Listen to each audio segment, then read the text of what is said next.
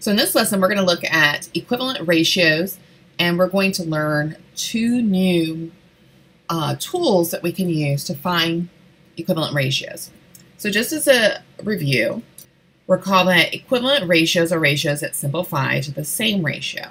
And so what we're going to be doing is we're going to remember use the idea of equivalent ratios to solve problems.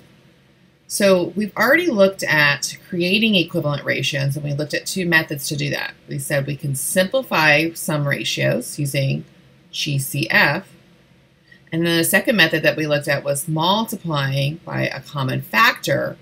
So for example, if we had a ratio such as 3 to 5, we could go ahead and take 3 to 5 and we can multiply both the 3 and the 5 by 4, which is a common factor. And we could say that 3 times 4 is 12, 5 times 4 is 20. And so we know with confidence that the ratio 12 to 20 is also going to be in the same ratio because 12 over 20, when you simplify it, is also 3 to 5. Uh, but same token, we could go ahead and look at a ratio that, let's say it's 50 to 65, and we could simplify it because they're both divisible by 5, and we get 10 over 13, and 10 and 13 can't be simplified any further because they are relatively prime is the perfect word for it. And so we know that 10 to 13 is a equivalent ratio because 50 over 65 simplifies to 10 over 13.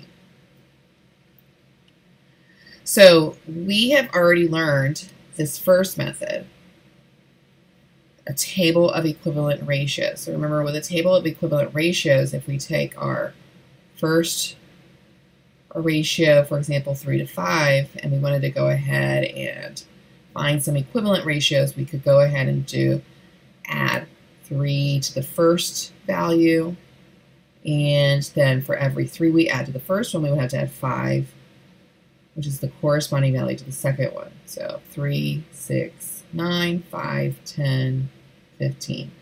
Or I could do some multiplying, 3 times 10, for example, 5 times 10. And so this is a table of equivalent ratios. So today what we're going to learn is a second method, tape diagrams, and a third method, which is kind of similar but uses a different tool called a double number line.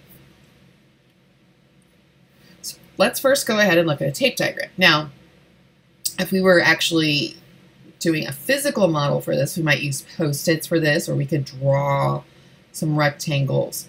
Um, I'm not sure exactly where they got tape diagram. I think it's because they just like put some tape on a table or something. Not sure. Anyway, let's read our problem. Okay, a county superintendent of highways is interested in the number of different types of vehicles that regularly travel from his county.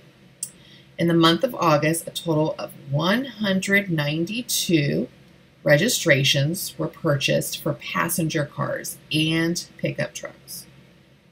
Okay, so that's 192 cars and trucks at the local Department of Vehicles.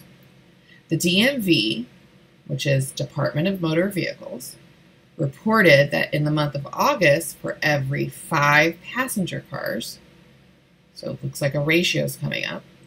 So for every five passenger cars registered, there were seven pickup trucks registered.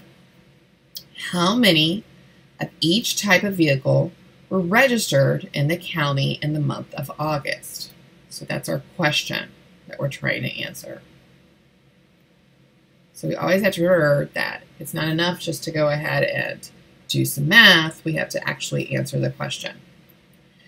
Okay, so with the tape diagram, we go ahead and we use piece to as each as a ratio. So I'm going to say that this specific rectangle here is going to represent my um, cars.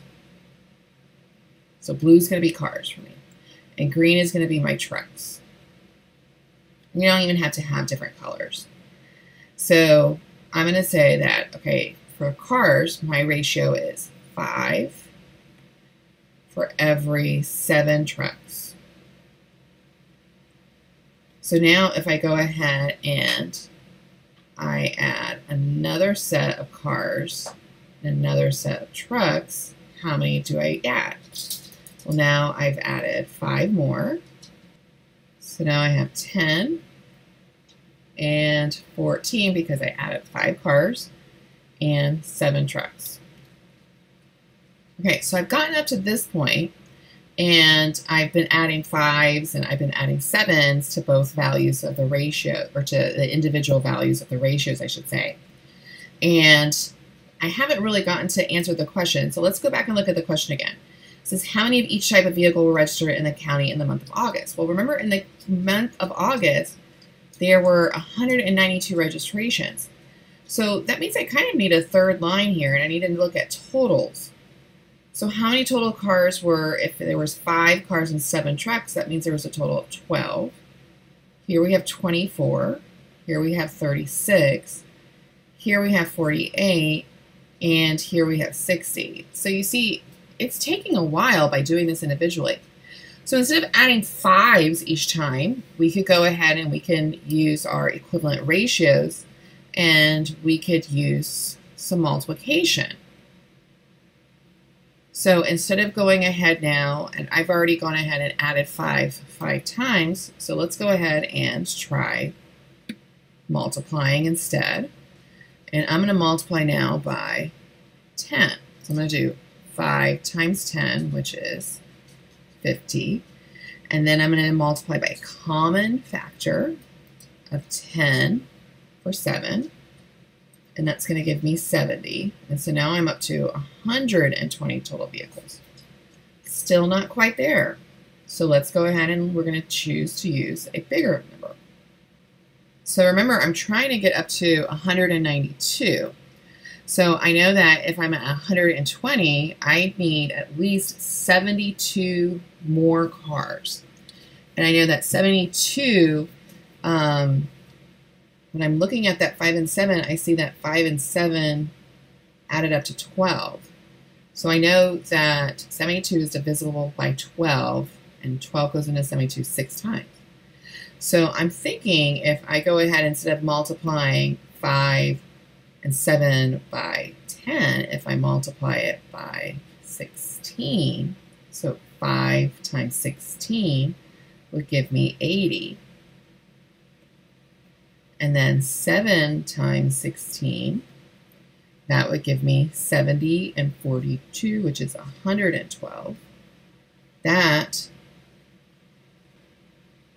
192. And so that is the total of the vehicles. Okay, so let's go back. So the question said how many of each type of vehicle were registered in the county in the month of August. So there were 80. Okay, and so remember this first one was cars. Cars. And second row was trucks.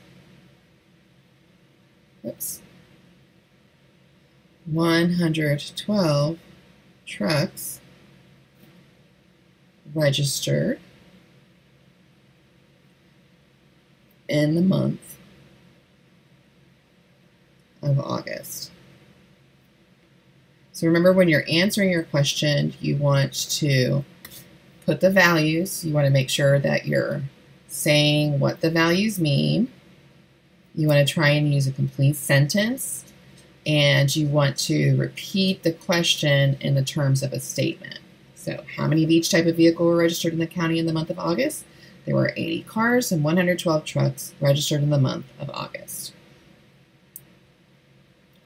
So a tape diagram doesn't need to be anything really fancy too much. Um, so because we're doing this digitally, I went ahead and used this.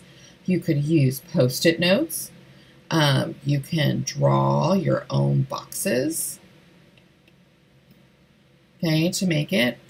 So, and you're using each post-it note to represent one part of a ratio. So if we had a ratio 3 to 5, then I could do our tape di my tape diagrams like that. Okay, now a double number line is kind of like a, um, a tape diagram, but we're using number lines instead and we're numbering them according differently according to our ratio. So it's kind of like, you know, just like you would skip count. So here's a different question. It says, a graphic design studio has purchased a new set of computers. They need one PC for every three Mac computers. So right there, we have a ratio. One PC for every three Macs.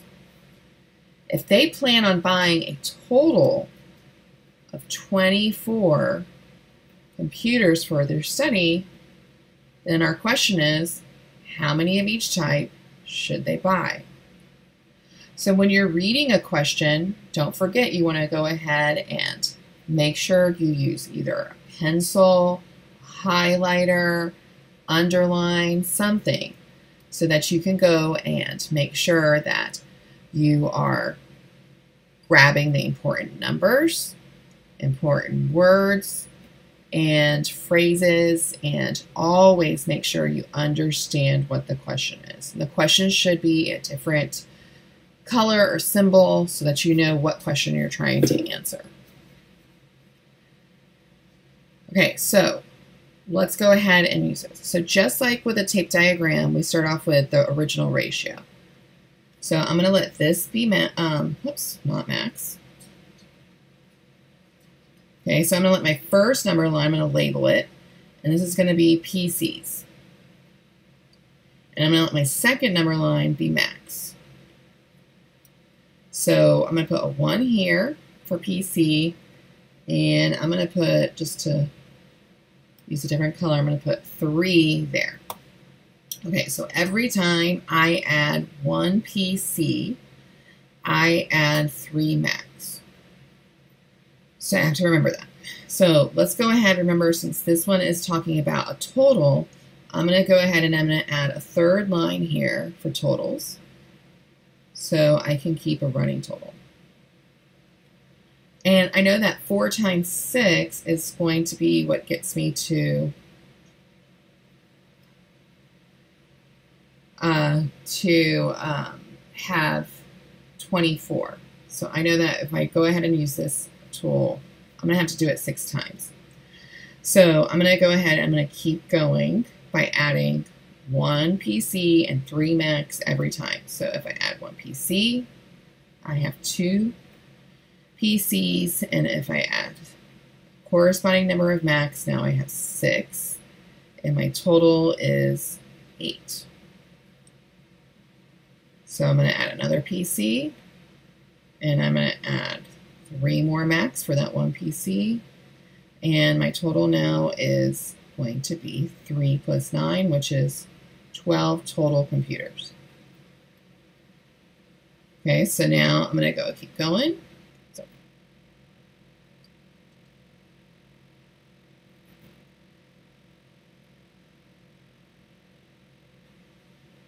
Now you might have noticed I ran out of room, and that's okay, because a number line, just like a um, using the tape diagrams, you can expand it so I'm going to go ahead and expand it. I'm going to put another tick mark over here. And I'm going to go ahead and put one more and hope, see if I need more after that. So I have 6 plus 18 and 24. And remember, I was looking for a total of 24. So this is the location that answers my question. But my answer isn't 24, it's how many of each type should I buy? So the answer to my question is they should buy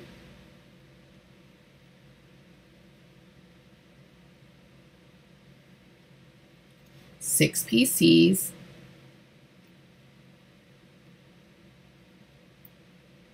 and 18 Macs.